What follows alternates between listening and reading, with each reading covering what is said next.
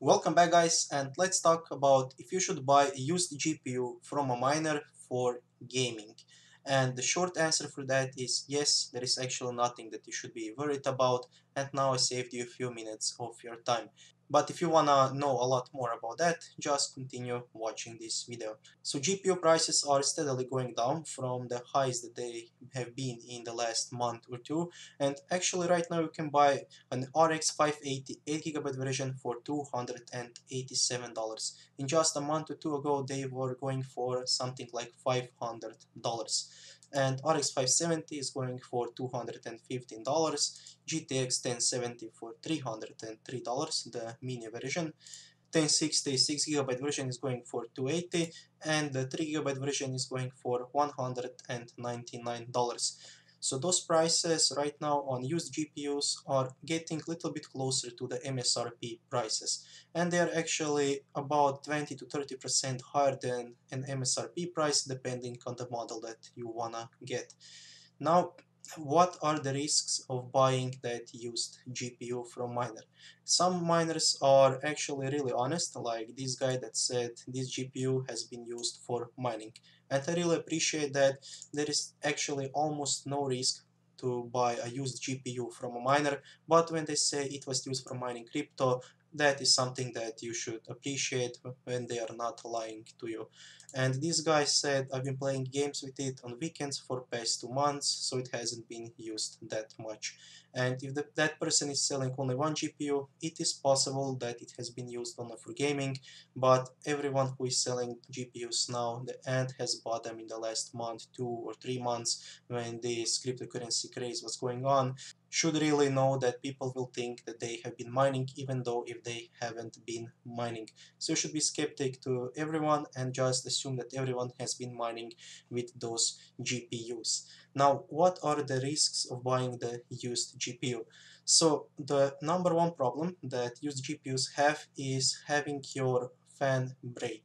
And this is the only moving part in your GPU that can break. The GPU is a lot different than something like car that has hundreds of moving parts and if one of those parts break, your whole car might stop working. But GPU has only that uh, fan and if the fan breaks or one out of the three fans that some GPUs have, your GPU will stop working because it will overheat in a minute or two of intense gaming. Now you can still use that GPU if you are not gaming, if you just want to use it for browsing the internet, watching videos or something like that, you can absolutely use it and it will not overheat if the model is really new. If it's something like GTX 1000 series or the RX 580, then it should be perfectly fine even without that fan working.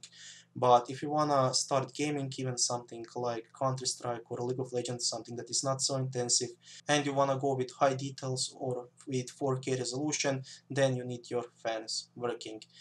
Uh, but if you buy a GPU and it still has warranty, and if it breaks you will get a new GPU or the same one. And the great thing about that is if you have for example 3 years of warranty and your GPU breaks after 2 years and 11 months and they don't even produce those GPUs anymore and the store doesn't have them, nobody has them, you will have to get the money refund or the new GPU that is most likely more powerful than the one you have right now. And if you are worried that something else will break, that is really a low probability because those chips that GPU has, the memory chips and the core chips, they are so hard to break because when did you have last time your RAM chips break or your CPU break? So you can see that pieces without the moving parts are really really hard to break. And I don't have the numbers for you right now and I don't know what is the percentage of GPU that have their fans broken but in my mining rig I have 14 GPUs right now mining for almost a year and I didn't have even one fan break or any problem that caused my GPUs to stop working. So if probably somebody has a thousand GPUs, of course they will have some GPUs break and some of the GPUs will be dead on arrival. But if you have just one GPU and if you actually buy the one and it breaks, then you didn't really have luck. And that is it and you should not worry about your GPUs breaking.